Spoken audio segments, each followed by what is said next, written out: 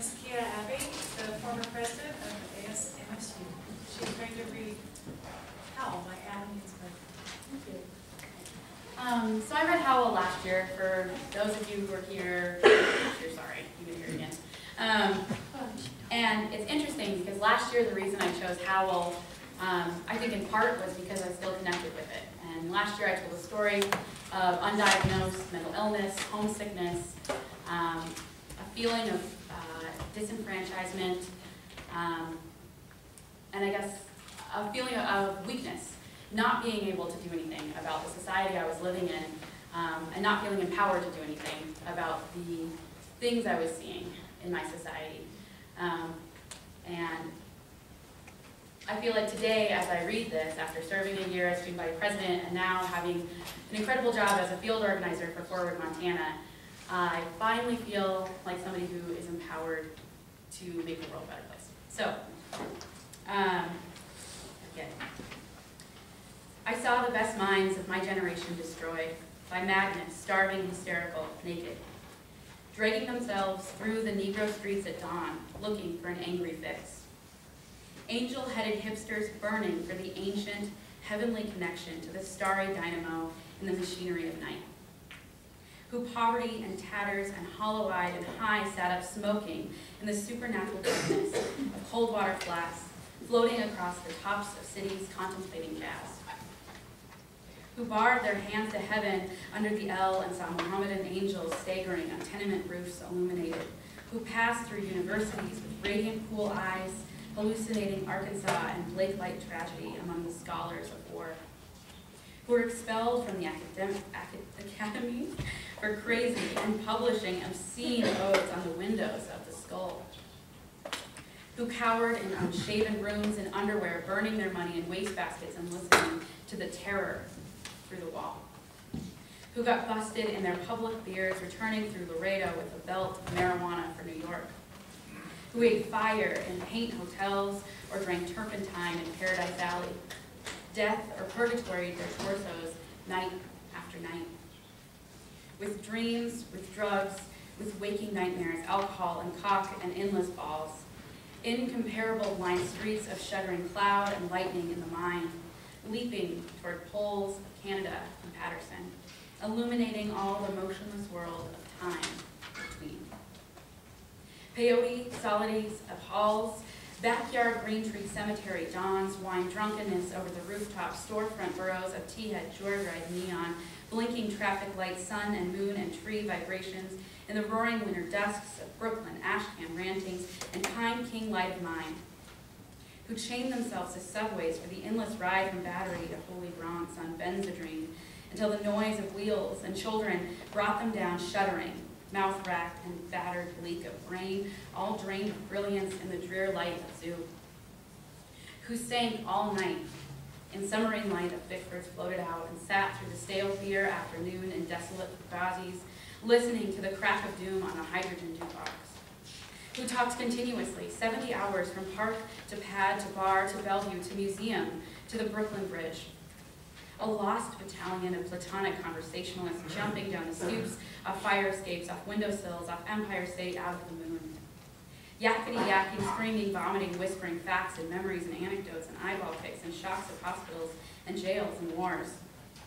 Whole intellects disgorged in total recall for seven days and nights with brilliant eyes, meat for the synagogue cast on the pavement, who vanished into nowhere, New Jer Zen, New Jersey, leaving a trail of ambiguous picture postcards of Atlantic City Hall. Suffering eastern sweats and tangerine bone grindings and migraines of China, under junk, withdrawal, in New York's bleak furnished rooms, who wandered around and around at midnight in the rail yard, wondering where to go and went, leaving no broken hearts, who lit cigarettes in boxcars, boxcars, boxcars, racketing through snow toward lonesome farms in grandfather night, who studied Plotinus Poe, St. John of the Cross, telepathy, and bop Kabbalah, because the cosmos is instinctively vibrated at their feet in Kansas who loaned it through the streets of Idaho seeking visionary Indian angels who were visionary Indian angels, who thought they were only mad when Baltimore gleamed in supernatural ecstasy, who jumped in limousines with the cinnamon of Oklahoma on the impulsive winter midnight streetlight small town rain, who lounged hungry and lonesome through Houston seeking sex or jazz or soup and followed the brilliant Spaniard to converse about America and eternity, a hopeless task, and so took ship to Africa, who disappeared into the volcanoes of Mexico, leaving behind nothing but the shadow of dungarees and the lava and ash of poetry scattered in fireplace Chicago, who reappeared on the West Coast investigating the FBI in beards and shorts with big pacifist eyes, sexy in their dark skin, passing out incomprehensible leaflets. Who burned cigarette holes in their arms, protesting the narcotic tobacco haze of capitalism, who distributed super communist pamphlets in Union Square weeping and undressing while the sirens of Los Alamos wailed them down and wailed down Wall and the Staten Staten Island Ferry also wailed, who broke down crying in white gymnasiums naked and trembling before the machinery of other skeletons who bit detectives in the neck and shrieked with delight in police cars for committing no crime but their own wild cooking catastrophe and intoxication, who howled on their knees in the subway and were dragged off the roof waving genitals and manuscripts, who let themselves be fucked in the ass by saintly motorcyclists and screamed with joy, who blew and were blown by the human cerebrum the sailors' caresses of Atlantic and Caribbean love, who bawled in the morning and the evenings in rose gardens and the grass of public parks and cemeteries, scattering freely to whomever found whom may. Who hiccuped endlessly, trying to giggle but wound up with a sob behind a partition in a Turkish bath, when the blonde and naked angel came to pierce them with a sword, who lost their love voice to the three old shrews of fate, and the one-eyed shrew of the heterosexual dollar, and the one-eyed shrew that winks out of the womb, and the one-eyed shrew that does nothing but sit on her ass and sniff the intellectual golden threads of the craftsman's loom who copulated ecstatic and insatiated with a bottle of beer, a sweetheart, a package of cigarettes, a candle, and fell off the bed and continued along the floor and down the hall, and ended fainting on the wall with a vision of ultimate cunt, and then come eluding the last jism of consciousness, who sweetened the snatches of a million girls trembling in the sunset and were red-eyed in the morning, but prepared to sweeten the snatch of the sunrise, flashing buttocks under barns and naked in the lake, who went out pouring through Colorado and mirrored stolen night cars, and see secret hero of these poems, Coxman and Adonis of Denver, joy to the memory of his innumerable lays of girls in empty lots and diner backyard movie houses, who dreamt and made incarnate gaps in time and space through images juxtaposed and trapped, the archangel of the soul between two visual images,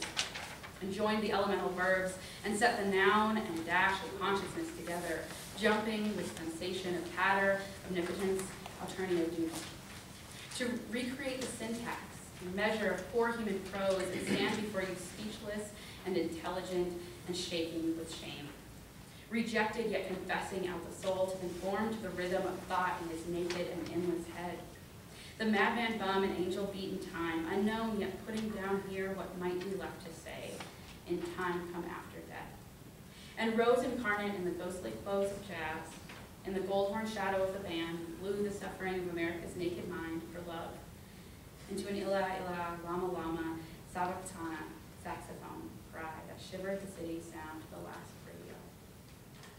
With the absolute heart, the poem of life, butchered out of their own bodies, good to eat a thousand years.